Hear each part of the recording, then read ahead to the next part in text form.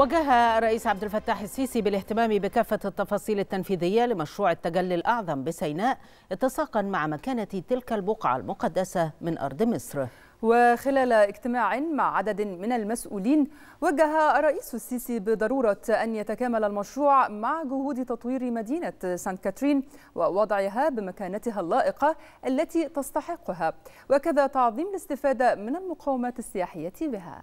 اجتمع السيد الرئيس عبد الفتاح السيسي مع اللواء محمود نصار رئيس الجهاز المركزي للتعمير والدكتور مصطفى منير مساعد وزير الإسكان والدكتور ماهر استينو استشاري مشروع التجلي الأعظم. وقد وجه السيد الرئيس بالاهتمام بكافة التفاصيل التنفيذية للمشروع اتساقا مع مكانة تلك البقعة المقدسة من أرض مصر التي شرفها الله بالتجلي فيها ولتقديمها للإنسانية والشعوب في أنحاء العالم على النحو الذي يليق بها تقديرا لقيمتها الروحية الفريدة التي تنبع من كونها حاضنة للأديان السماوية الثلاثة. كما وجه سيادته أن يتكامل المشروع مع جهود تطوير مدينة سانت كاترين ووضعها بمكانتها اللائقة التي تستحقها.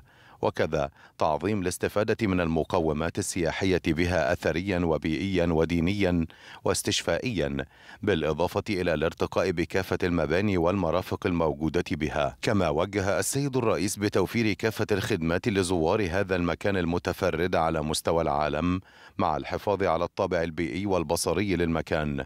وكذلك مراعاة اعتبارات التنمية المستدامة من خلال دراسة الاعتماد على الطاقة النظيفة والمتجددة إلى جانب الاهتمام بالزراعات والمسطحات الخضراء والتنسيق الحضاري. وأوضح المتحدث الرسمي أن الاجتماع شهد استعراض كافة المكونات المخطط تطويرها في إطار مشروع التجلي الأعظم بما فيها إنشاء مركز جديد للزوار ونزل بيئي وفندق جبلي متكامل ومجمع إداري جديد.